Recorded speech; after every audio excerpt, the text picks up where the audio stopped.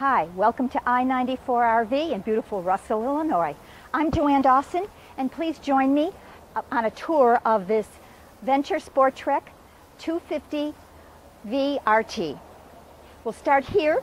We've got two 20-pound propane tanks and the battery for the house electric. We've got our diamond plate kick for stones kicking.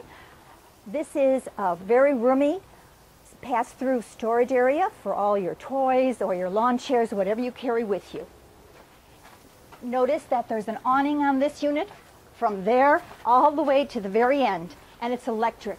So all you do is push a button, no more cranks and trying to open and close your awning. Here we have hookup for outside TV if you want to sit and watch movies or TV, cable, satellite. Around back, we have your spare tire. It's on an aluminum wheel, and the other four wheels on this unit are also aluminum, upgraded aluminum wheels. Here's an exterior shower, so when you come in from the beach, you can rinse off your feet. We have our water connection, and again, cable and satellite. You can see there's a nice ladder for you to go climb on top of the unit if you want to watch the football game or the NASCAR race. And here is your electric hookup, and right there, easy to reach, is your sewer hookups. It's got four leveling jacks on each one on each corner. Now let's go inside and see how roomy this unit is inside.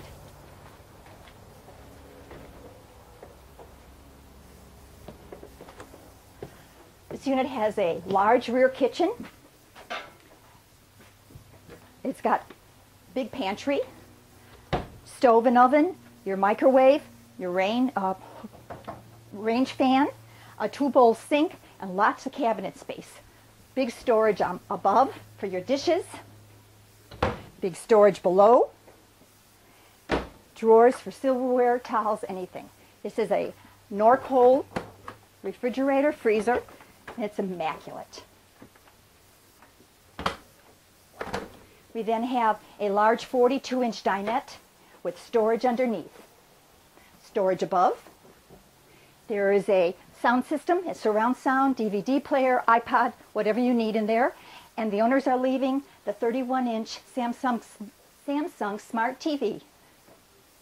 On this side is the sofa that easily opens into a bed, and the cushions on the sofa are reversible, and they can match the cushions on the dinette and on the valances over the windows. There's a lot of storage above. We come into the hallway and there's large hanging closet with big drawers underneath. In the bedroom, there's a nice queen size bed and again, storage underneath. Two hanging closets with shelves and sto ample storage above the bed. And the, there is a 26-inch flat screen TV in the bedroom.